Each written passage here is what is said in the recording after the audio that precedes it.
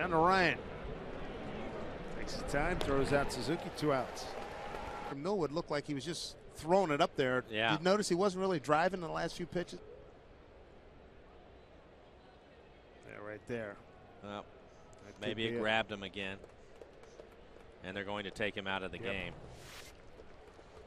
So Millwood, injury, being taken out of the ball game. A 1-1 contest here in the third with two outs.